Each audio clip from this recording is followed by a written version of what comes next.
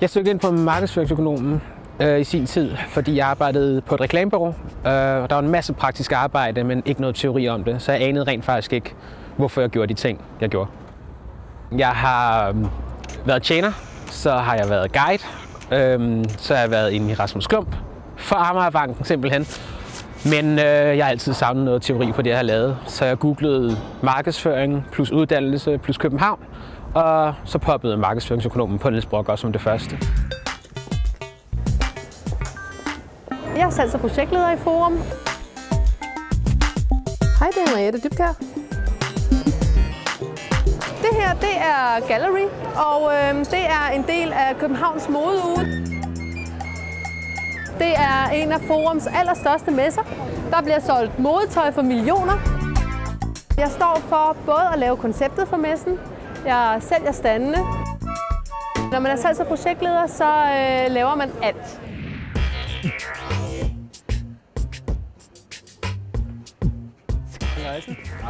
Ja.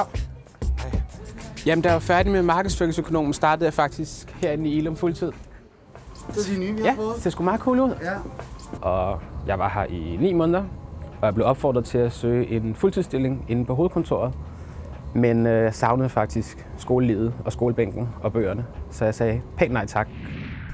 Jeg sender noget ud i næste uge. Jeg valgte at læse til markedsføringsøkonom, fordi jeg vil gerne have lidt mere teoretisk ballast inden for salg og markedsføring. Øh, Og så vil jeg egentlig også gerne styrke min egen markedsværdi, så derfor valgte jeg at læse på Niels Brock. I stedet for tøjbutikken, så valgte jeg at hoppe tilbage her på skolebænken, her på Niels Brock, hvor jeg tog en øh, overbygning, en professionsbachelor i international handel og markedsføring. Hej! Når man går på markedsføringsøkonomuddannelsen, så har man øh, halvandet år på skolebænken og et halvt års praktik. Og jeg valgte at være et halvt år i praktik herinde i Dansk Design Center. Det gav mig muligheden for at øh, få noget øh, konkret erhvervserfaring og få et øh, relevant arbejde, som jeg kunne skrive på mit CV. Jamen her efter min overbygning er jeg startet fuldtid i et incoming rejsebureau, og øh, vores største opgave det er at sende turister, krydstogsgæster, hovedsageligt ud på udflugter, ture, museer her i København. Jeg kan rigtig godt lide kombinationen af at arbejde, få noget erfaring, og så læse og få noget teori. Jeg er super glad for mit job, men øh, jeg skal videre og har derfor søgt ind på en kandidat i forandringsledelse øh, på Syddansk Universitet i Slagelse. Så det sjove ved mit arbejde, det er for det første, at jeg har en øh, stor frihed, og det er meget kreativt.